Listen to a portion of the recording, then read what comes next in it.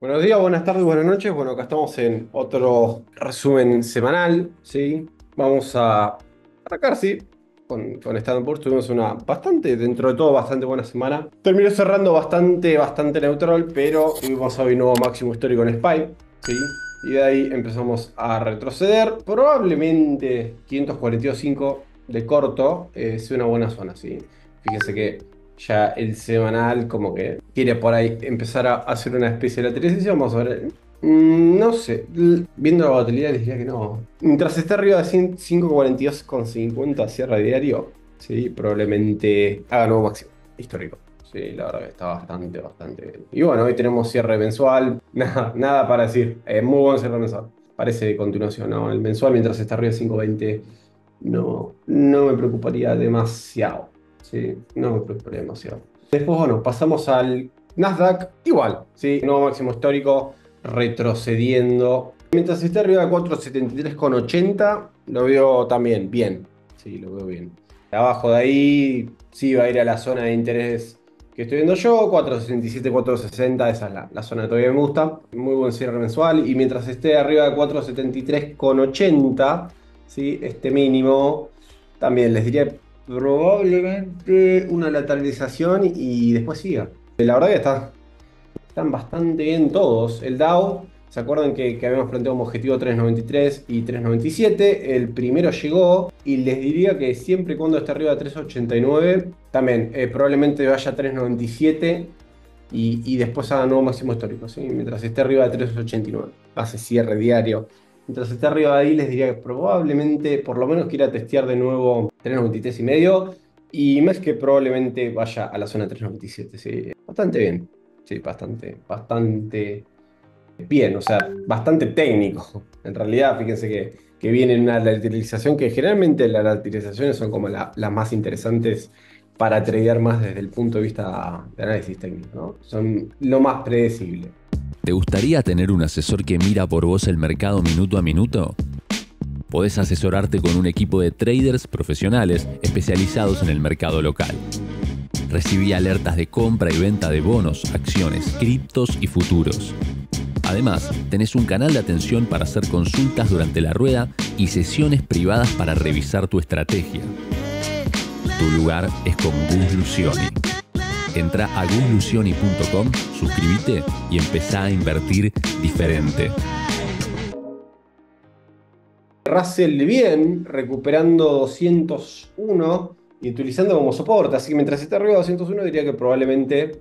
¿sí? Y fíjense que rechazó los 203,80, 204, que les decía yo, la entrada más conservadora me parece clave romper esta zona para probablemente por lo menos volver a esta zona, ¿sí? 209, 210. Pero bueno, mientras esté arriba de 201 les diría que probablemente sea una cuestión de tiempo antes de que rompa, ¿sí? Vamos a ver mensual, también buen cierre mensual, eh, sí tiene pinta de una consolidación después de, bastantes meses subiendo, sí, parece bastante lateral y sigo pensando probablemente el objetivo era 2.17, 2.18. Sí. El mensual está marcando esa zona 2.20 incluso, que sería por acá, ¿no? Sí, por estos, máximos de acá. Eh, pero bueno, a largo sigo pensando que 2.35 por lo menos va a dar, ¿sí? Vamos a ver el cierre mensual del DAO, que me lo olvidé. El lateral, la verdad que tiene pinta de querer lateralizar, ¿sí? Algo bastante parecido a lo que tuvo acá antes de arrancar. Algo bastante parecido. Y mientras esté arriba de 375, que más o menos es lo, lo que tengo marcado acá abajo, sí, 375, 376. El semanal sigue bien. Sí, sigue bien. El semanal, perdón, el mensual sigue bien. Después no mucho más de índices. Vamos a pasar a, Bitcoin. ¿sí? Mensual, lateral, tiene pinta lateral, fíjense, semanal, intentó romper la zona de 59.870, que sale de acá, y ahí reaccionó y volvió a ponerse arriba. Vamos a ver el cierre semanal, si cierra arriba de 59.870, diría que probablemente estemos bastante cerca del piso. ¿sí? No, no sé si romperá, pero por lo menos va a intentar ir a barrer la zona de 70.300, 72.500. O sea, básicamente seguir lateralizando, ¿sí? También tenemos cierre mensual. Les diría por lo menos que esté arriba de 58.500 el cierre mensual. No, no me preocuparía. Abajo de 58.500 puede ser que esté bastante bajo presión y corrija por lo menos a 55, incluso a 47, ¿sí? Pero falta, falta. Me gustaría ver un, un semanal también cerrando abajo de 59.800. Ahí veremos. Pero ahí sí podría apuntar a estos 47 que tengo marcados acá. Si estos 52, de 51, 200 a 47, redondo. Sí, ahí sí creería que podría ser probable. Mm, después, bueno, dominancia, seguir igual. Recortando un poco, pero sigo, sigo alcista dominancia probablemente. No sé, eh, entró de vuelta en la zona de no hacer nada. Si cierro un semana abajo 54, 30, ¿sería posible 53, incluso 51? Sí. Eh, necesita recuperar 54, 30 la, dominancia. Si no, creería que probablemente el Bitcoin siga lateralizando un poco más y, y las alts sigan recuperando un poquito más de oxígeno. ¿sí? Pero mm, por ahora tiene pinta de que probablemente pase eso. ¿sí? Y bueno, después de, papeles vamos a ver Starbucks, que, me, han consultado mucha gente, eh, no en los videos, sino en el servicio. ¿Qué onda Starbucks? ¿Compra o no compra? La realidad es que no me convence mucho, eh, más que nada porque fíjense lo que es el revenue negativo. ¿sí? Ya cuando una empresa año a año, ¿no? Quarter 2 contra quarter 2, mismo quarter, diferente año tiene crecimiento negativo, eh, dan escalofríos, ¿no? No, no, no, no, no, me parece lo ideal. Y el semanal está bastante, bastante bajo presión, sí, bastante bajo presión. Y les diría probablemente, mientras esté bajo de 90 y 88, más o menos, probablemente la zona ideal para comprar sea la zona de 68, ¿sí? Yo creo que le, le queda un poquito más. Y si rompe acá, hay un potencial bastante más grande de volver a esta zona. Probablemente si se queda así, o sea, si, mientras está bajo 88, si queda bajo 38, probablemente la zona más interesante para, para comprar Starbucks sea la, zona de 68. ¿sí? Para mí tiene pinta de seguir un poquito bajo presión todavía.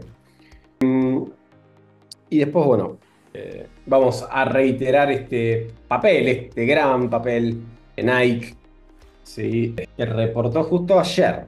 La verdad que no fue un reporte tan malo, está bien el guidance.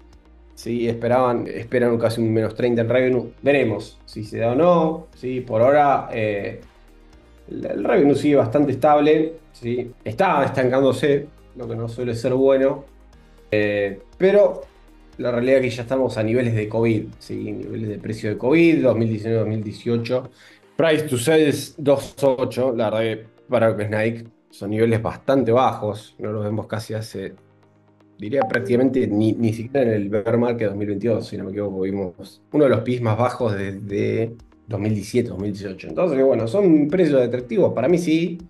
Obviamente no descartaría si, mientras esté bajo 84 y 81, una visita de estos mínimos. Sí, es posible, puede pasar, pero diría que eso pasaría abajo de 63,50. Abajo ahí probablemente pase, Mientras vamos acá, creo que todos estos valores a largo plazo son muy buenos valores. ¿sí? A largo plazo. Este es un papel que yo creo que a largo plazo la realidad es que no hay muchas oportunidades en el mercado ahora mismo y creo que esta es una de esas.